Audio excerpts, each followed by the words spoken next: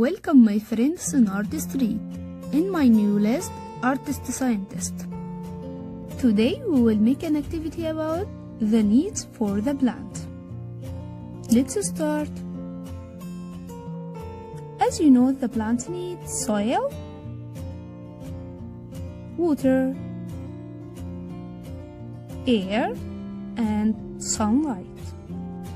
So we can print the picture of these needs or draw it so we can remember them.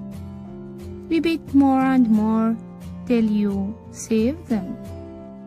Soil, water, air, and sunlight. I hope you understood and this activity is easy for you to do. Thank Thanks for watching and with us in the next video.